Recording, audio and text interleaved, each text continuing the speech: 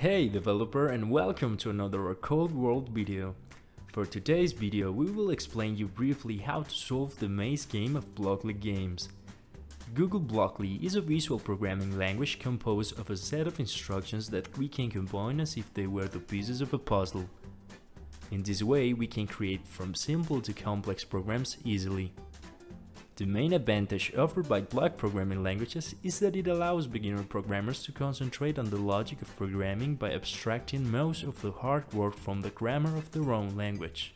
One of the most known projects that use Blockly is the Blockly Games project of Google, a series of educational games that teach programming. It is designed for children who have not had prior experience with computer programming. By the end of these games, the players will be ready to use conventional text-based languages. The maze level is basically an introduction to loops and conditionals. It starts pretty simple, but every level is more challenging than the last. Having said that, let's get started with the solution of every level. In the first level, you will need to move forward twice, so just place two move forward blocks and that's it. But don't get too excited, this gets worse with the time. For the level number 2, you will need to move forward once, then turn to the left and move forward again.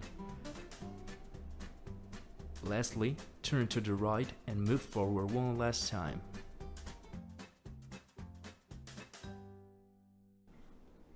In the third level, we have a block that we know in programming as a loop. In this case, its name is repeat until. All the logic inside this block will be repeated until we reach the goal. Just place this block and put a move forward block inside. In the level number 4, we will place a repeat until block. Inside, we will move forward once, then turn to the left, move forward once, and lastly turn right again.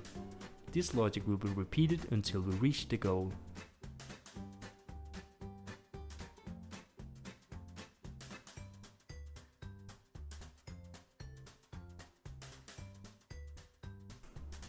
In the level number 5, you will need to move forward twice, then turn to the left and lastly place a repeat until block and move forward until we reach the goal.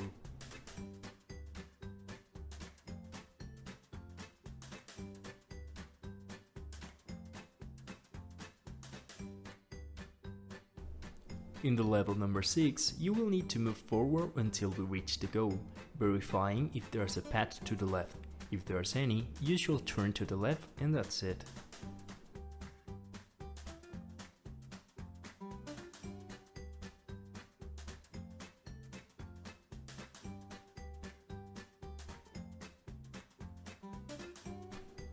In the level number 7, you will need to move forward until you reach the goal, verifying if there's a path to the right. If there's any, you should turn to the right and that's it.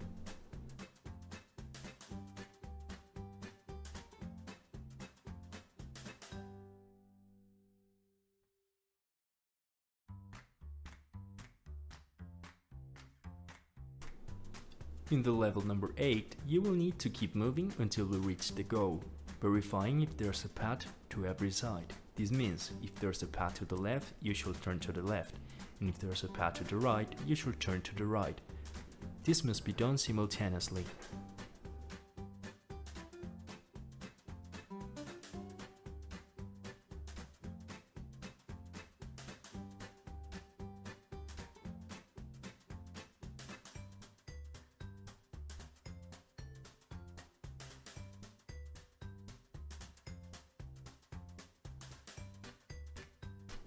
In the level number 9, you will need to keep moving, verifying if there's any path in every direction. This means forward, right and left. On every situation, you should turn to the respective direction and that's it.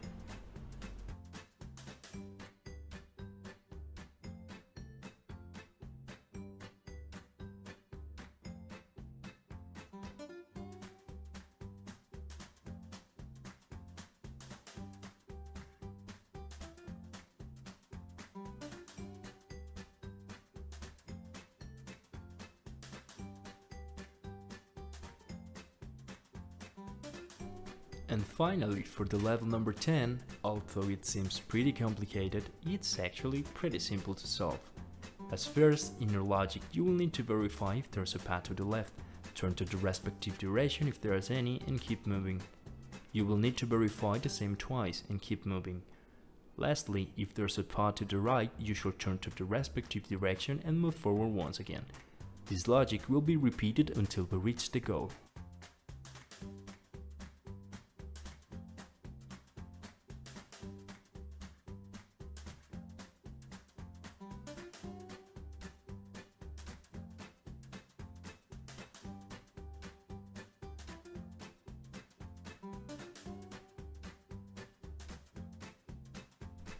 In this way you will have completed all the levels of this interesting game.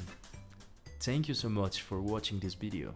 Please don't forget to subscribe to our channel and visit ourcodeworld.com for more content about software development. Until next time.